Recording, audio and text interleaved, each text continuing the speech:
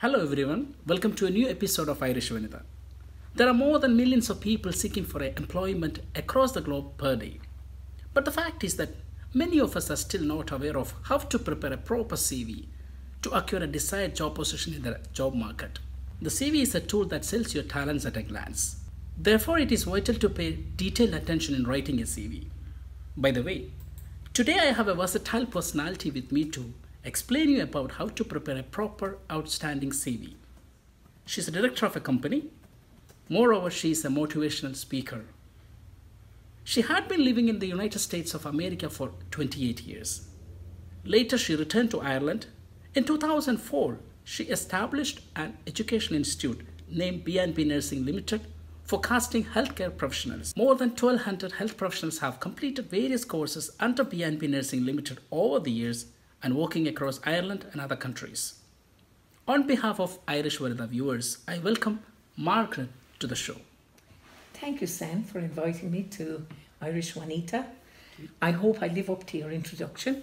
Over the years, we have seen the same mistakes over and over again in the cover letters and in the CVs. Today, I will discuss with you um, what those mistakes are and how we can write proper cover letters and CVs. Since our expertise is in the healthcare area, um, we will be focusing on people writing CVs for the healthcare area. But the same format applies no matter what job you're applying for or what area of expertise you're in. The benefits of working in healthcare are flexibility, good wages, secure employment. And that is so important when you have families that you need to provide for. Mm. Now, I'm going to give you some tips on writing a cover letter. Tip number one whenever you apply for a job by email, you must provide the job description or the code on the subject line. When you're sending your email, the body of the email must be your cover letter. From my experience, many people send their cover letter as attachment. That is not correct. As I've said, the body of your email is your cover letter. In this, you must communicate what your skills are, an outline maybe of your experience, what your strengths are. You must catch the employer's attention in that short email. Now, let's see how to start a cover letter. I've seen many emails starting, Dear Sir or Madam. That's definitely not correct. You need to carry out research. You need to get Google information about where you're applying for the job or simply call them. Ask either for the um, human resources or the director of nursing. Get the name of the person and address your email to that person.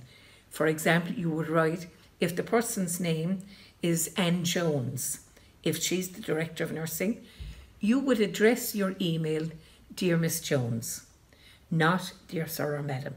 Just to focus a little bit more on this, you would not use the person's first name. You would use their status, for example, Miss, capital M with a small s, dot, space, Jones.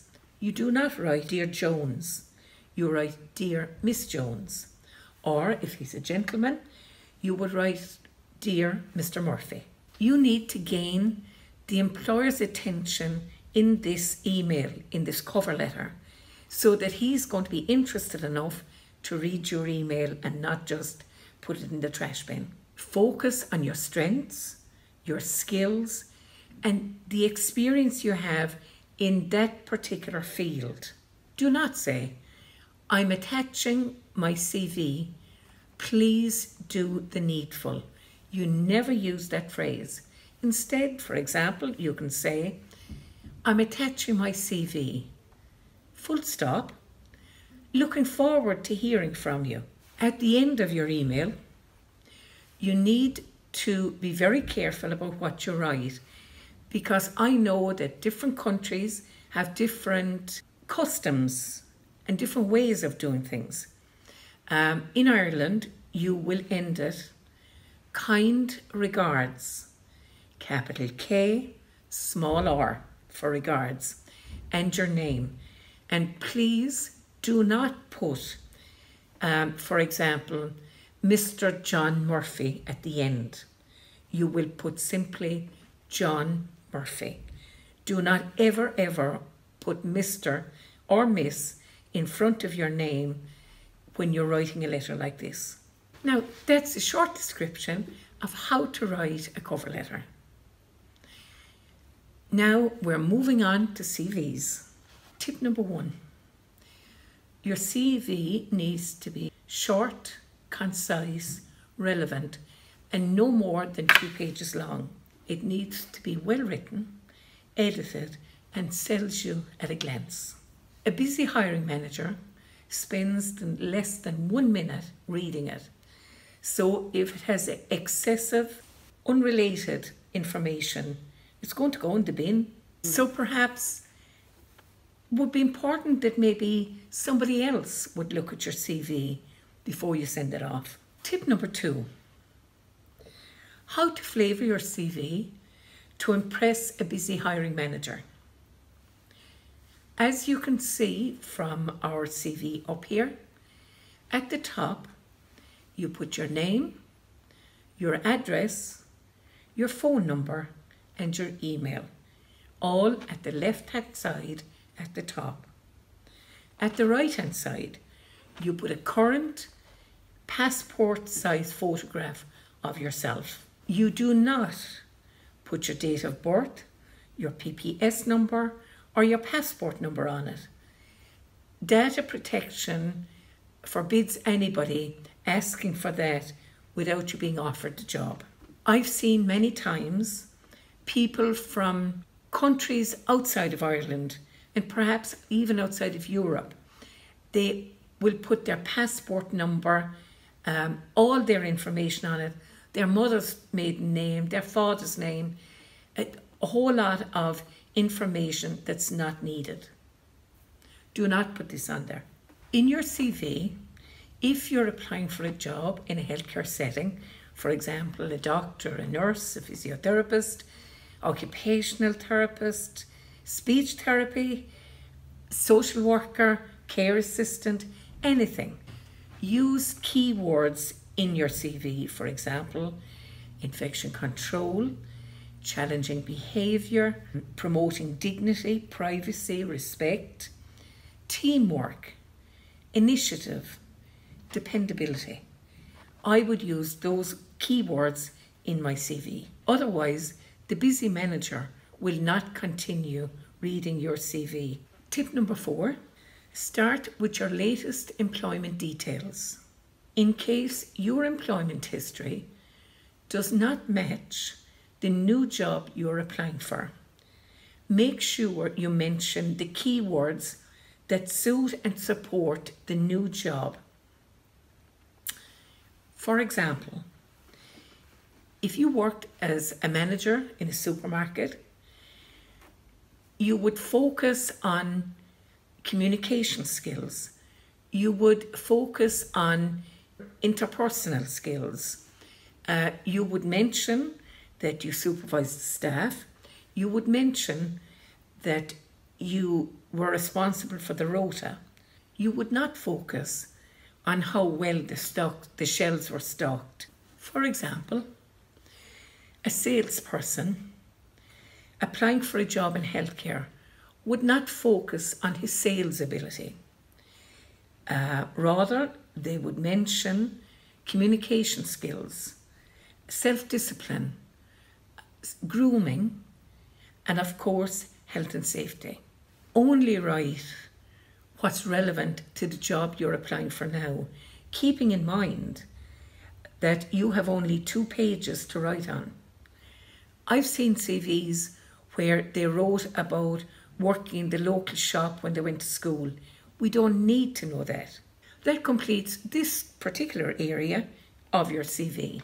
Next, we will discuss educational qualifications. For example, if you're applying for a job as a care assistant, you need to clearly outline what your qualifications are, and what modules you completed. It's also very important to clearly state any other qualifications you received. For example, if you have a certificate in manual handling and patient moving, if you completed some modules on the HSA website or the HSE website. If you're in Ireland with a foreign qualification, you need to check with the relevant bodies what level your qualifications are at in Ireland. For example, you can go to NFQ and see what your qualifications are equivalent to here, what level. If you're a nurse, you will go to NMBI and check and register with them. Whatever your area is, you need to check with the relevant bodies. Tip number six achievements or upskilling. A few examples might be for achievements. You got Employee of the Year.